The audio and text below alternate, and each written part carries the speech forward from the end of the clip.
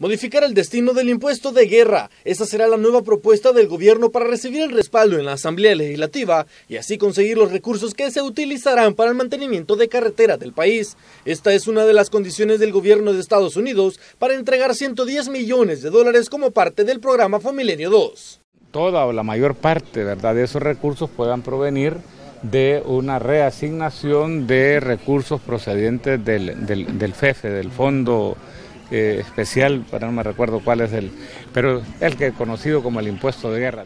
Son 38 millones de dólares anuales adicionales que necesita el gobierno para responder a este requisito, ya que según el último estudio hay más de 1.500 kilómetros de carretera en mal estado que necesitan mantenimiento. En un primer momento se habló de incrementar en 17 centavos el impuesto de 20 centavos por galón que ya tiene establecido el precio de la gasolina, pero no encontró apoyo de la derecha del país.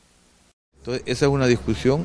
Lo que nosotros hemos expresado es la flexibilidad para que verdaderamente esto se acuerde. O sea, el, el Salvador no puede darse el lujo de perder una inversión de 100 millones de dólares que es en su gran mayoría una donación del gobierno de Estados Unidos por no tomar oportunamente una decisión de este tipo. Y fue el partido Arena que en un primer momento propuso utilizar los 16 centavos del Fondo de Estabilización y Fomento Económico FEFE, mejor conocido como impuesto de guerra, para conseguir estos recursos. Según el diputado Carlos Reyes del Partido Tricolor y presidente de la Comisión de Obras Públicas, con la nueva postura de las autoridades, el acuerdo parece estar más cerca.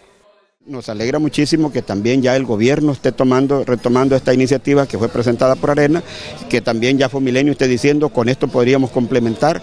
Así que yo creo que si esa va a ser la voluntad, nosotros estamos, es una propuesta nuestra, estamos en toda la disponibilidad, por supuesto, de aprobarla y hacerlo lo más pronto posible para cumplir todos los requisitos y a partir del 31 de julio próximo iniciará el proceso de licitación para estas obras, fecha límite para completar los requisitos de los Estados Unidos.